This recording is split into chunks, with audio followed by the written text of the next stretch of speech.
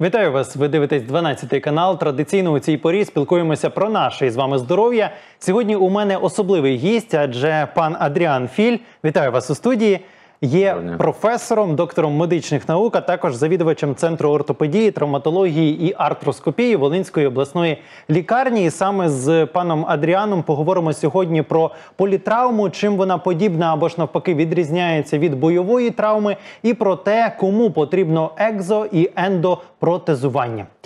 Отож, е, почну напевно із самого початку. Що таке політравма безпосередньо в вашому відділенні е, травматології? Доброго вечора. Ну, політравма це дуже об'ємний процес, який торкається багатьох патологічних станів. А саме е, політравма ми можемо розділити на множинну травму, на комбіновану травму, е, монотравму, як таку з поліструктурними пошкодженнями. Е, чому, власне, політравмі ми надаємо стільки уваги? М, Тільки для того, що пацієнти, які страждають внаслідок політравми, мають дуже високий летальний е, відсоток. Тобто пацієнти з політравмою вони найчастіше гинуть. Власне, тому е, політравмі приділена така велика увага. І так як е, взяти в загальній структурі смертності, політравма посідає третє місце після серцево-судинних, на першому етапі, на першому е, рівні, на другому це онкологічні хвороби, і на третьому місці політравма. Чому е, стільки уваги, стільки книжок і стільки досліджень на сьогоднішній день е, в літературі надано цій, цій патології? Якщо простими словами, то це е, одразу комбінація, там коли е, зламана рука і зламана нога, чи, чи як? Так, власне, якщо ми поділяємо на множинну травму, це е, система це, чи пошкодження, які стосуються одної системи. Це множинні переломи Угу. скелету. Е, множинна травма це вже чи поєднана травма це травма, яка е, е, торкається двох різних ділянок тіла, а саме е, струс головного мозку і е, розрив печінки, або перелом стегна там, і пошкодження легень. От. І є ще поєднана травма, як, чи комбінована травма, пробачте, яка м, торкається різних факторів пошкодження, а саме травма і опік. Угу. От таким, таким чином. Тобто, коли одна із травм легшої форми, так би мовити, для, для е, безпеки життя. Те- Це так, як ем, якщо стосується комбінованої травми, це комбінація різних факторів ушкоджень. Може бути електричний струм, може бути опік, і це все повинно бути в комбінації. А при множинній травмі завжди є, м, яка ще при комбінованій травмі е, і поєднаній травмі завжди є якась травма менше е, шкодить організму, якась більше Угу. пошкодження. Бойові травми. Тут, е, ну, напевно, і прослухавши те, що ви сказали вище, одразу можна сказати, що в принципі, коли людина має якісь декілька поранень е, під час виконання е, якихось військових дій чи внаслідок влучання ракет, на жаль, по українських містах, це політравма. Що таке тоді бойова? Так, якщо порівняти до військових чи воєнних дій в нашій державі, політравма була на найвищому пі, на найвищому піку, вона найважче лікувалась. Тобто для нас завжди, як ми знали, що мають привезти пацієнта з політравмою, це вже збиралася підсилена бригада, і ми завжди переживали, наскільки важкою буде ця травма. Після часу війни, коли ми почали надавати допомогу пацієнтам з бойовою травмою, воєнною травмою, ми зрозуміли, що політравма не настільки важка була травма, яку ми завжди боялись. Тому що бойова травма вона є вкрай складніша і набагато важча від, скажімо, е, соціальної чи звичайної політравми, яка не передбачає вторинної е, чи вторинної зони молекулярного струсу або пошкоджень, е, пошкоджень, ем, які ми не бачимо на першому етапі цієї травми. Мгм. Бо е, бойова травма є важка тим, що при огляді первинному ми не бачимо усієї зони ушкоджень. Наскільки рівень пошкодження від бойового снаряду або від уламку є набагато е, вищий рівень енергетики, який пошкоджує набагато більше м'які тканини. І це вже ускладнює подаль- подальшому лікування цієї рани, і рановий процес є е, набагато важче проходить. Я так розумію, що і більше діагностики потрібно. Ну, Тобто, якщо е, політравма вона може бути видна, якщо ми говоримо там про переломи, то тут вже обов'язково потрібно застосовувати щось на кшталт КТ чи МРТ. Так, безперечно, і при політравмі, і при бойовій травмі потрібно застосовувати ем, такі відомі нам всім методи обстеження, але найбільша чи най, е, в даному випадку питання, що стосується бойової травми, цей пацієнт потребує набагато довшого спостереження і набагато прецензійнішого спостереження для того, щоб не пропустити якісь ускладнення, які, якщо не надати вчасну допомогу, можуть е, вилитися в е, різні ускладнення. Е, я вже згадував про те, що, на жаль, ракети влучають в українські міста, Херсон, Запоріжжя, Харків, інші населені пункти менші щодня під обстрілами і, на жаль, влучають буквально в домівки українців. Коли витягують людину з-під завалів, яка це тоді травма? Чи це вже бойова, чи ще політравма? Так, якщо пошкодження буде нанесено саме ем, снарядом або е, якоюсь військо, ну скажімо, наслідком зброї, так, то це буде ще вважатися е, бойовою травмою. Якщо ж пацієнт отримує травму внаслідок завалу, це вже буде класифікуватися згідно, скажімо, різних там структурних політравматичних ушкоджень. А саме, якщо на пацієнта притискає його велика вага, і пацієнт знаходиться довший час е, під цією вагою, це так званий краш-синдром, е, синдром тривалого стиснення і тому подібне. Тобто тут от така є принципова різниця, коли ми е, і як маємо називати саме пошкодження і саме травму.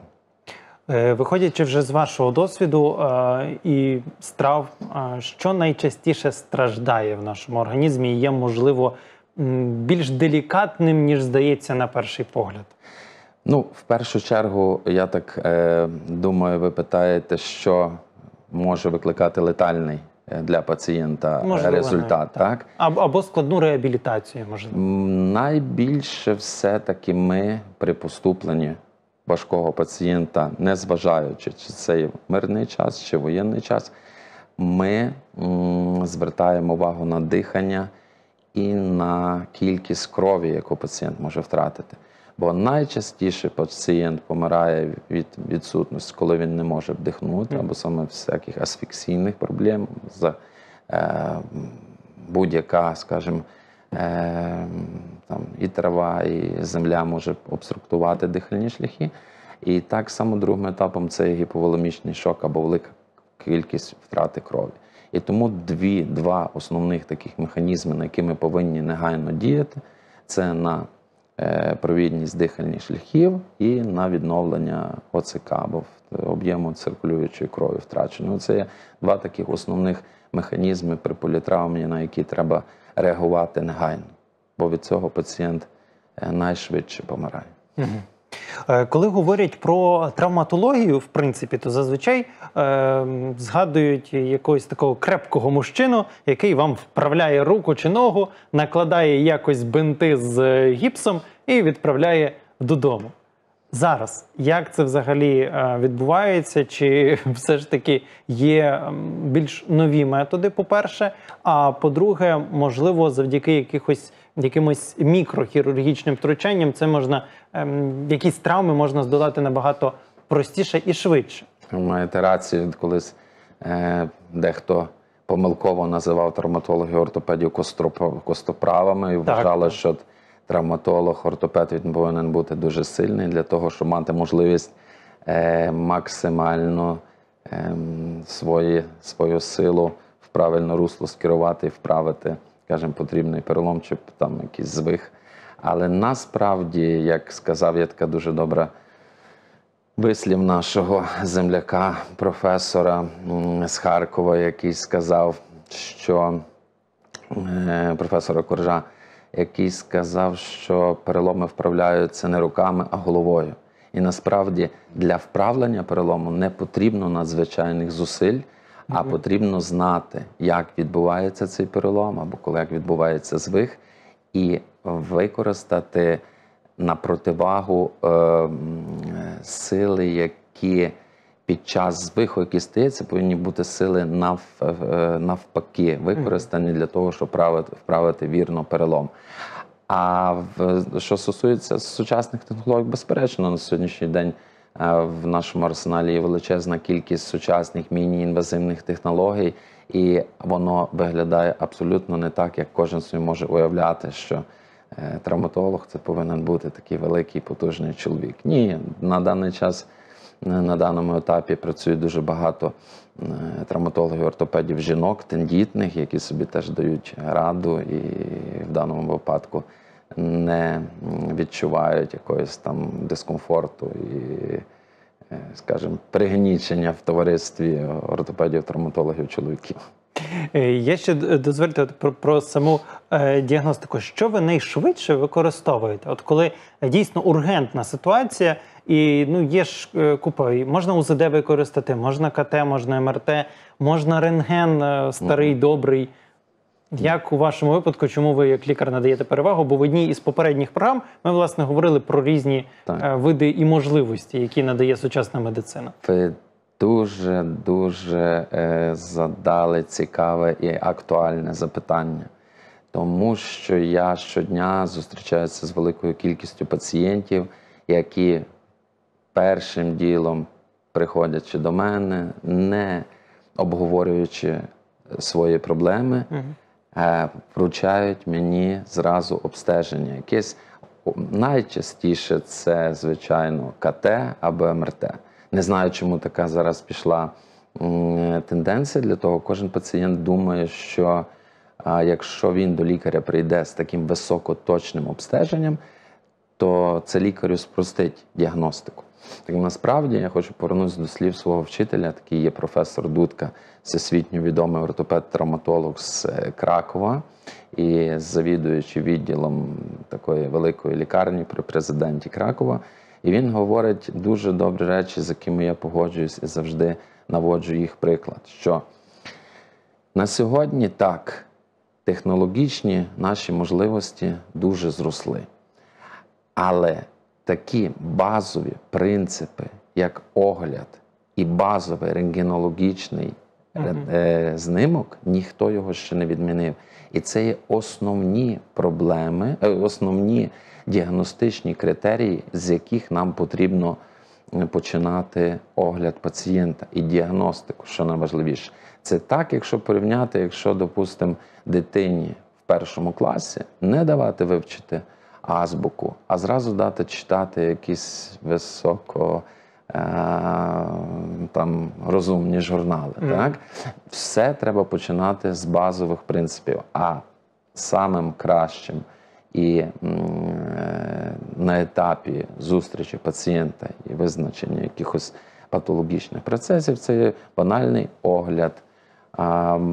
Той самий звичайний рентгенологічний знимок. Так що я рекомендую всім пацієнтам починати з базових простих обстежень, і вже при потребі можна ускладнювати тими, скажімо, проводити ті обстеження, які є набагато дорожчі. Можливо, вони є дещо і технічні, більш точніші, але для е, загального розуміння патологічного процесу для лікаря оцих два, скажімо, загальний огляд, Рентгенологічні знімки повністю вистачає. А я не втомлююсь повторювати нашим глядачам, що будь-яке самолікування може зашкодити вашому здоров'ю, і перш ніж робити будь-які аналізи чи то діагностику за допомогою КТ і МРТ, обов'язково потрібно порадитись із лікарем. І тим більше, якщо приймати якісь ліки, так е, обов'язково двічі потрібно проконсультуватися. Е, власне, е, я плавно підходжу до ургентних ситуацій, тому що е, ми з вами поговорили про те, що бувають бойові травми, бувають політравми внаслідок знову ж таки е, тих завалів, які, на жаль, трапляються е, часто на території України зараз через е, наших недобросовісних е, росіян, сусідів. І ось е, далі, після цих е, вже діагностик, після того як ви оглянули пацієнта в ургентній ситуації, коли це потрібно робити швидко, потрібно якось е, діяти. І дуже часто потрібно ендопротезування, тобто коли потрібно замінити суглоб. Це робиться е, одразу, коли людина приїжджає вже буквально на кареті швидкої допомоги, і коли е, за один раз, напевно, варто прооперувати і е, більше не втручатися в організм. Чи це процес, який потребує ну, віддаленої якоїсь діагностики і спостереження? Е, Якщо так загально розповісти для е, наших телеглядачів, то треба розділити ендо, чи протезування на ендо і екзопротезування. Так? Ендопротезування це всі імпланти, які відомі на сьогоднішній день, які є внутрішньо використовуються, тобто заміняються внутрішні частини тіла, якщо просто так Суглоби, сказати. наприклад. Так. І екзопротези, коли пацієнт втрачає кінцівку, і йому потрібно замістити оцю втрачену кінцівку. І як і ендо, так і екзопротезування потребують в даному, на даному етапі наші захисники. І досить часто в наш час використовується і ендопротезування, і екзопротезування. Е, Такі з новинок до, екзо, ем, до екзопротезування з новинок відносяться е, такі спеціальні імпланти, ендоімпланти, які вживляються в кістку, і до них монтуються вже, вже е, е, частини спеціальні ендопротезів. Це то, що стосується сучасних підходів.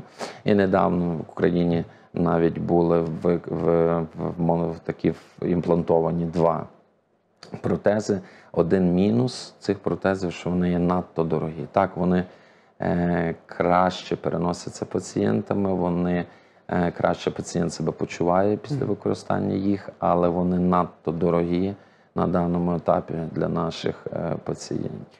От, е, власне, моє питання було про ендопротезування. Е, Тобто, коли потрібно, можливо, заміна суглобу, до прикладу, то це одразу робиться при першому ж поступленні пацієнта. Так. Чи ні? Так, ендопротезування за останніх 10 років так розвинуло, що, як пригадую, 10-15 років тому тривалість ендопротезування, чи тривалість операції була 4,5-5 годин, то зараз ендопротезування, умовно говорячи, кульшового суглобу це є 15-20 хвилин колінного десь в тих самих межах.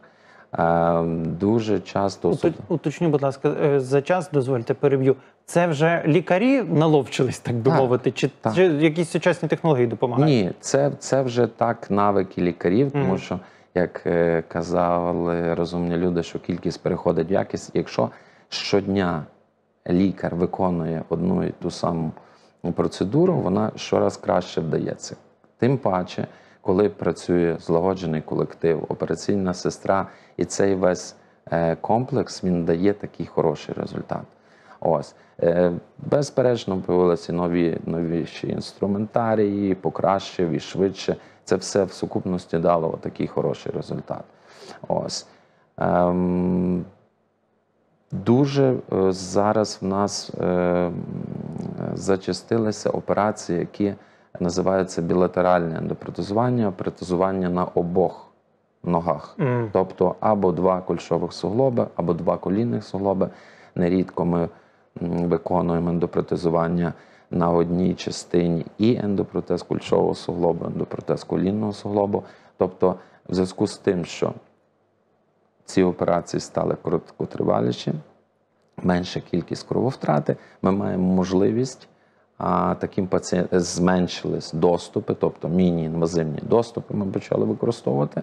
Відповідно, це дало можливість виконувати у пацієнта, в якого є декілька хворих суглобів, зразу декілька ендопротезувань а, за один раз. Найчастіше, я так розумію, саме колінні суглоби страждають. В по-різному. Є е, навіть періоди, я би сказав. Є періоди пацієнтів з кульшовими суглобами, є періоди пацієнтів з колінними суглобами, а є також і пацієнти, в яких і кульшові, і колінні суглоби, так і плечові, і ліктеві, і гомілково-ступневі. Тобто можна одне сказати, що ендопротезу в світі ендопротезувань кульшового суглобу і колінного десь робиться 50 на 50 в середньому. Ось подібні цифри. Чи є державне забезпечення зараз щодо ендопротезування? Так, безперечно, в нашій лікарні, саме в е, Волинській обласній клінічній лікарні, є ендопротези по державному замовленню, які ми широко використовуємо. І кожен пацієнт е, Волинської області має право отримати такий безкоштовний е, ендопротез.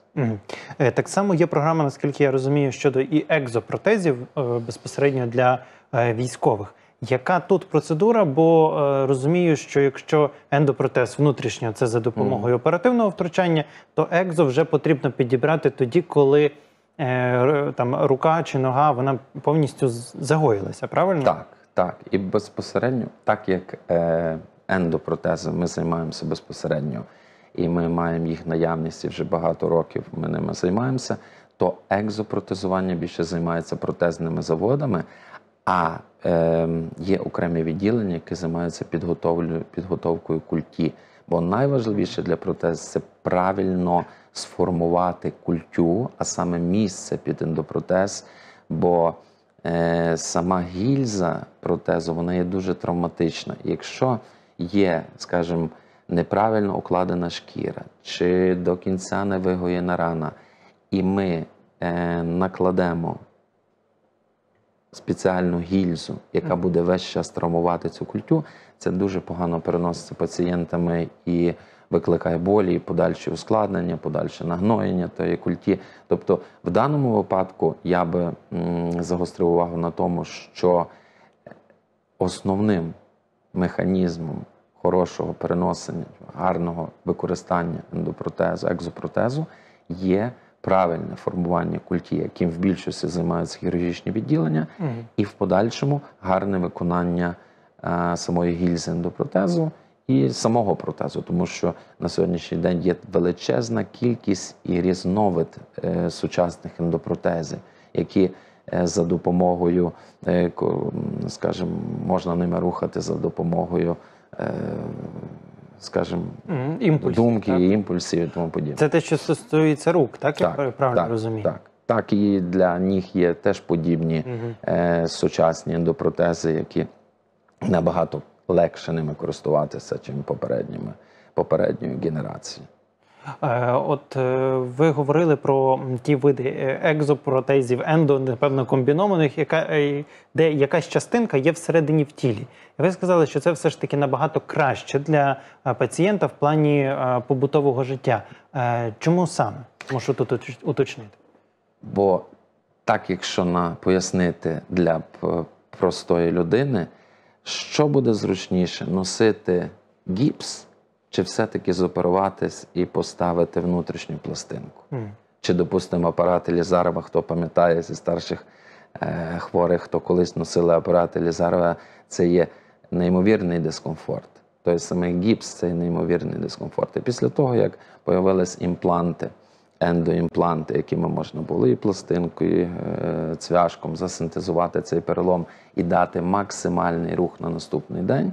Е, Це стало набагато зручніше для е, самого пацієнта. І так само з ендопротезами. Краще ендопротез чи цей екзопротез, що був імплантований безпосередньо в кістку, ніж постійний дискомфорт вдягання його і як прифіксування до кінцівки розходжується, те саме шкіра потіє, він е, починає травмувати шкіру, і це викликає в подальшому, може викликати якісь ускладнення. Тобто виходить так, що по суті фіксація відбувається один раз, і ось цієї Так. щоденної рутини Так. е, вдягання немає. Так. Це так само, як для рук, так і для ніг є. Так, це є так, як і для рух, і для ніг, і все воно побудовано на принципі імплантації зуба. Угу. Такий самий є Штифт, так? штифт, так, який фіксується в кістку, і до нього вже монтується оця коронка, так само, ну так як по, по прототипу коронки, так і е, чи зуба монтується і частина ендопротезу. Е, Нещодавно, е, ознайомлюючись із одним з матеріалом в медіа, із військовим, який, на жаль, втратив кінцівку на е, війні, але при цьому далі продовжує і дуже позитивно ставиться до цієї історії. каже: О, ногу забув там чи Мгм. щось таке. Ну то це таке його ставлення, яке трохи надихає і дивитися інакше на цю ситуацію. І він висловлював думку про те, що для кожної людини, е, яка втратила кінцівку, іноді потрібно декілька протезів. Наприклад, ось він бігає, йому потрібно один вид. Е, Для того, щоб е, для щоденних там потреб ходити по сходах в магазин, це інший. Можливо, там ще є третій для чогось е, інакшого. Чи ви теж прихильник такої думки, що потрібно, так би мовити, декілька запасних ніг? Я думаю, що це такий самий комфорт, як і з взуттям. Мгм. Відповідно, ми ж в одних, е, скажімо, кросівках і не ходимо, і не бігаємо. Так і з протезами.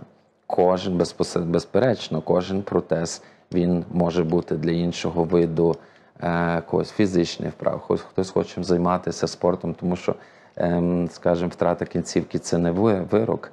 Ці пацієнти живуть і проводять так само е, дозвілля, як і всі здорові люди. І на цьому життя не закінчується. І тому мене дуже тішить, що є такі люди, які спокійно сприймають ем, таку, скажімо, втрату кінцівки і, скажімо, не Не падають даються духом. так, не падають духом, і депресії не, не, не залишаються і тому подібне. А в зв'язку з протезами на сьогоднішній день є е, всесвітньо відомі фірми, які е, навіть можуть е, індивідуально е, приготувати протез для певного виду роду діяльності е, того, тої людини, яка потребує. Е, Чи можете ви, як е, лікар, допомогти підібрати подібні протези там для різних сценаріїв життєвих? Так як ортопед-травматолог, який займається е, саме ендопротезуванням, ми не маємо настільки е, досвіду для як повинні вибиратися екзопротези. І в даному випадку, я думаю, на протезних заводах працюють спеціалісти, які знаються в тому краще нас, і вони можуть стати більш в пригоді, е, порекомендувати, який протез для якого для якої людини є кращий, а саме навіть від самого тілобудови пацієнта. Мгм. Так, чи це худий, чи це повний пацієнт, чи він е, дуже рухливий, чи менш рухливий. Це від цього залежить більшість. Зрозуміло. І на сам кінець не можу не запитати про е, реабілітацію. Ми, здається, минулого е, разу з вами говорили, говорячи про ендопротезування, про заміну суглобів, про те, що це буквально там лічені дні, коли людина одразу вже звикає і починає е, рухатися, так як і до того, не розуміючи навіть, що в неї щось е, було. Б- Без сумніву. Чи можете ви підтвердити ці слова? Реабілітація є основним, ну я не скажу основним найважливішим питанням ендопротезування і, скажімо, будь-якого реабілітації після перелому. Ем, Ми, ми розділяємо надання допомоги пацієнту при ендопротезуванні на три етапи. Перший етап це коли е, проходить операція, повинна пройти добре операція. Другий етап це є загоєння рани. Це є немаловажливий процес, який є дуже важливий для пацієнта. І третій етап, тобто тих 30% залишаються, вони залишаються для реабілітації. Бо насправді ще зовсім недавно на реабілітацію дуже мало вдавали уваги, і ніхто не, не зважав на реабілітацію. Всі вважали, що реабілітація це собі таке, пацієнт пішов додому і займається собі якоюсь реабілітацією. Звучала фраза «А вдома стіни лікують. Так, так, так. Або їдьте на море і тому подібне. То є багато таких анекдотів, які можна розповідати, розповідати. Ось. І, але в більшості це було, коли пацієнт хотів позбутися цього. е, Коли лікар хотів позбутися пацієнта, коли Мгм. пацієнт вже надокучав, то е, лікар придумав різні такі відмазки, е, щоб цей, щоб пацієнт вже облишив, залишив. Ось. І в даному випадку ми зараз дуже велику увагу приділяємо реабілітації, бо вже на власному досвіді ми переконалися, якщо провести повноцінну реабілітацію, а в нас є зараз багато описано різних праць. Ми відповідно кожному пацієнту даємо спеціальні методичні рекомендації після того, як вони виходять з нашого відділення. Ми безпосередньо самі займаємося з пацієнтом у відділенні. Для цього використовуємо багато сучасних реабілітаційних методів, які в нас є в наявності в відділенню. І насправді, з нашого вже власного досвіду, воно почало давати дуже е, позитивні результати. Гарна і вчасна реабілітація дає швидший вихід пацієнта, і е, коли він повертається до здорового способу життя. Е, Це щодо е- екзопротезування, так наскільки я Як і екзо, так і ендопротезування. Е, Реабілітація є нероздільна при будь-якій патології, що стосується кістково-суглобової системи опорно-рухового апарату. Е, Тоді уточню просто за час. Я от говорив про лічені дні, так якщо Так. йдеться про ендопротезування, чи так і є? Тобто, Так, що декілька днів і людина далі живе повноцінним життям. Ми навіть е, зараз е, спробували використати систему французьких клінік, Мгм. які зразу 12 годин після операції відпускають пацієнтів додому. Тобто ми проводимо настільки швидку реабілітацію, що пацієнт по 12 годинах вже вільно ходить по палаті, і, скажімо, 24 години він може покидати лікувальний заклад. До сьогоднішнього дня ми не пропонуємо пацієнтам таких новітніх технологій у зв'язку з тим, що наші пацієнти ще є стереотип побудований так, що пацієнти бояться деколи швидше додому потрапляти. І тому ми по 3, по 4, по 5 днів вже пацієнт у нас є в відділенні. Але реабілітацію ми починаємо буквально після 6 годин, 12 годин, е, як пацієнт полишає е, операційний зал. Мгм. І про е, екзопротезування окремо вже ну, уточню. Е, Ми з вами говорили перед ефіром про те, що в Волинській обласній лікарні є окремо е, відділення, яке ось власне займається реабілітацією вже такою, напевно, більш довготривалою. Правильно я розумію? Так, у нас є окремий корпус в Боголюбах, і це є велике реабілітаційне відділення, яке займається безпосередньо реабілітацією як і цивільних пацієнтів, так і військовослужбовців. Але більш детально про їхню роботу, то я думаю, вже краще звертатися до них. Вони більш детально розповідять про нюанси своєї Я сподіваюся, що ми незабаром з ними поспілкуємося. А наразі я дякую вам за те, що завітали до студії, Дякую. відповіли на усі мої запитання. Я сподіваюся, що люди тепер будуть менше боятися, якщо потрібно щось зробити з е, суглобами. Ну а для всіх тих, хто, на жаль, отримає будь-які травми, е, буде зрозуміло, що можна буде отримати хорошу, якісну медичну допомогу. Щиро дякую. Так, всіх запрошую, хто має бажання і має потребу до нас в е, наше відділення Волинської обласної клінічної лікарні, де ми дамо повний спектр, надаємо допомогу по що стосується патології опорно-рухового апарату і е, заміни суглобів. Дякую. Дякую ще раз. Е, Дякую і вам, глядачі, що залишалися з нами протягом цього часу. Якщо маєте ще додаткові запитання до цієї розмови, обов'язково пишіть їх у коментарях до цього відео в соціальних мережах 12 каналу. І, звичайно, до зустрічі. Бережіть себе і будьте щасливі!